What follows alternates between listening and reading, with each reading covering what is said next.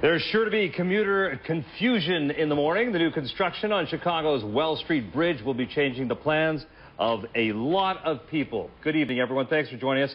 I'm Ravi Baichwal. And I'm Karen Jordan. The bridge work has been going on all weekend, but Monday morning will be a real test for commuters. That's right. So let's check in now with ABC 7's Michelle Gallardo along the Chicago River tonight with the very latest details. Michelle?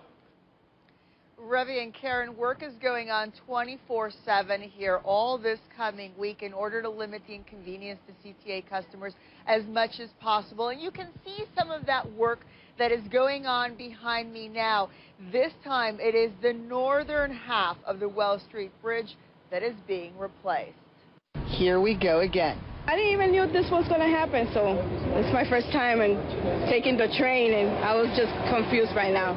As the effort to rebuild the 90-year-old Wells Street Bridge continues this coming week, the ensuing train reroutes are once again confusing CTA customers. They did direct me. They were very helpful. They told me how to get on the shuttle bus and then to come here to get on to Fullerton. In addition to replacing the north end of the bridge this weekend, additional track work performed at Hubbard and Kinzie and above the intersection of Lake and Wells all but eliminated elevated train service in the loop.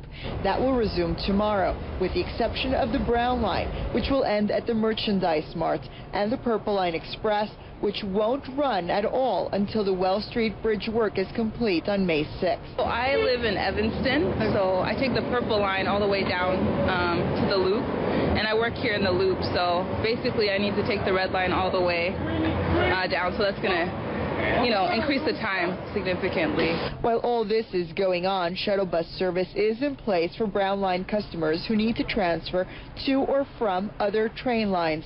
Furthermore, on weekdays during both the morning and evening rush, one out of three Brown Line trains marked Roosevelt will run on the Red Line subway tracks. The Red Line will be unaffected, but will likely be much more crowded than usual. It doesn't stress me out too bad, but if I were having to go to an important meeting or something like that, I think it would be a little bit, a little bit stressful. Have to leave early and stuff like that. So yeah. The new northern leaf of the bridge will be in place, and the trains will go back to normal by May the 6th. Live along the Chicago River, I'm Michelle Gallardo, ABC 7 News. Karen and Ravi, back to you. All right, commuters, get ready. Thanks, Michelle.